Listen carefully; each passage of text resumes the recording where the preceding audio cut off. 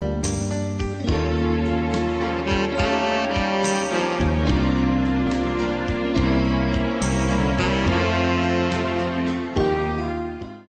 Con un lleno total, en la Casa de la Cultura Municipal fue desarrollada la palabra encantada, en homenaje al desaparecido cacique de la Junta Diomedes Díaz.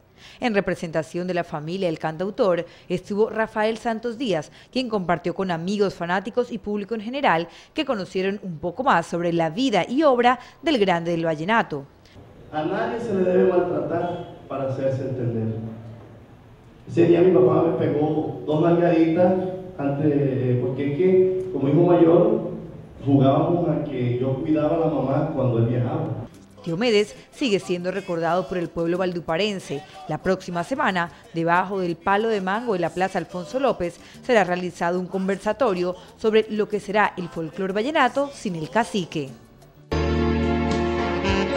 Desde las 3 de la tarde hasta las 7 de la noche de este domingo, los niños tienen una cita en el taller infantil de manualidades que será realizado en el Centro Comercial Guatapurí, un espacio diferente con entrada gratis diseñado para que los pequeños hagan productivo su tiempo libre.